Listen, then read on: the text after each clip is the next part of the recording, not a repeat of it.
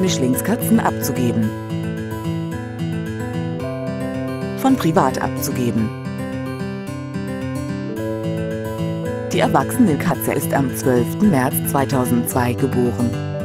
Die Katze ist eine Mischlingskatze.